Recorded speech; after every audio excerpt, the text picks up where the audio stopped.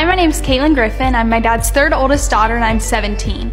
Um, two words that I'd use to describe my dad is that he's patient and he gives a lot of peace, especially with his clients. He's always very patient with them and he also gives them the peace they need when they're going through such a hard time.